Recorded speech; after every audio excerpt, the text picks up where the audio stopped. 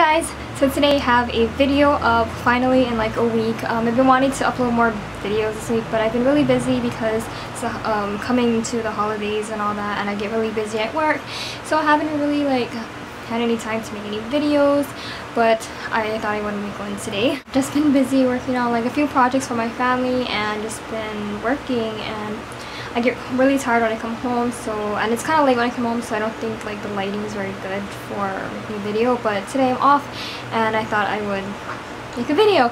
And I went to Target today too so I thought that I would share with you what a new product that I bought that I wanted to review and give a first impression on. So the product that I bought is the CoverGirl Ready Set Gorgeous, which is this one right here. And I've been wanting to get a foundation for like a few months. Um, a lot of my foundations are old I don't really want to use it.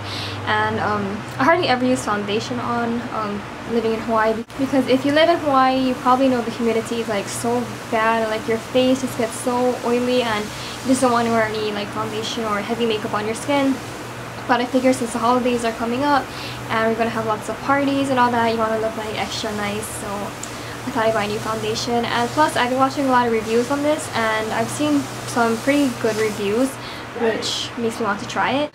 So this is my first impression on this thing right here and I got the number 305. I don't know if this is the correct like one for my skin tone. Um, I just got it because I don't know, I, I opened it, I tried it on, but I don't, not too sure. I'm always kind of bad when I'm trying on foundation. But I'm just going to give it a try and see how it is. So as you can see right now, I have nothing on my skin. I just have my eyebrows and mascara on, but nothing on my skin. Um, if you're wondering how my skin looks, a little blurry. But this is, that's how my skin looks right now. I have like here and there acne, um, I'm just breaking out a little bit and here and there, but I've been using my medicine, so it's not so bad. But yeah, I'm just gonna try and use. So I have my uh, moisturizer on, so applying it. I'm not gonna be applying no concealer, nothing, just strictly this.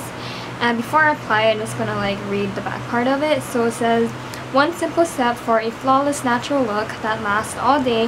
The formula blends easily to even skin tone and reduce shine all day. It's, uh, it's oil-free and won't clog pores, suitable for sensitive skin and lasts all day. So I'm just gonna try it. Um, I have a lot of like oil on my skin like I said, so this is like an oil-free uh, foundation. So we're just gonna give it a try and it smells like regular um, foundation. So I just have like one little squeeze. So I'm just gonna apply it like that. I'm just going to use my fingers to do it because a lot of my brushes are dirty and hadn't had any time to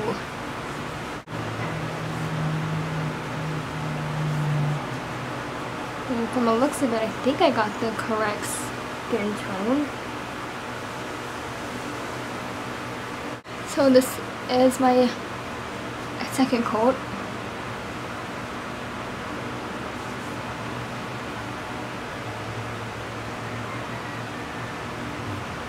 So this is my skin um, with the foundation on. I have no powder, nothing on it. But this is what it looks like. Um, I think it matched pretty well with my skin. Uh, normally I get it always like really white. I was gonna get 220 but then I was like, no, I'm gonna go for 305 just in case. So I think I got the right skin tone. So, as you can see, I have it on right now. So yeah, I mean, when I put it on, it seems like fairly like, let's see, it's kind of liquidy. It's not like super super thick, but it's not really like runny or watery like some are. Um, to me, I think it's like a good consistency and I think it blends well as you can see. I guess you could say I really like this um, foundation. Uh, foundation. I really like this one. Um, I don't know how much it was. I think this was... I honestly don't know how much this was because when I went to Target, I like I just grabbed it off the shelf and I paid for it with a bunch of other stuff that I bought. I would say it's about maybe like 8 to $9, 8 maybe 7 to $9 between that bracket, I'm pretty sure. And yeah, there's like a bunch of different colors that you can get. Um, I'm on 305. I was, like I said, I got golden tan. And I'm happy I got this one because I was going to get 220 but it was, I'm glad I did it because this is like perfect for my skin tone. Yeah, I purchased this one at Target and I'm pretty sure they have it like all over. I'm pretty sure they have it like Walmart and I've seen it at Longs Drugs if you live in Hawaii and I've seen it like pretty much all those like CVS stores so you can get this anywhere and I think you can put, um, put this on with like anything so I put this on with my fingers and so if it looks okay with your fingers I'm pretty sure it looks twice as better with like a brush. And yeah I guess you can just set it with some powder. Um, I did it I just put it on and I don't know I think this is a, I say this is like an 8 out of 10. Um, I still like my MAC one, but my MAC one is like too expensive and I don't really want to spend that much money on foundation, which I hardly ever use. So this is a like a cheaper alternative.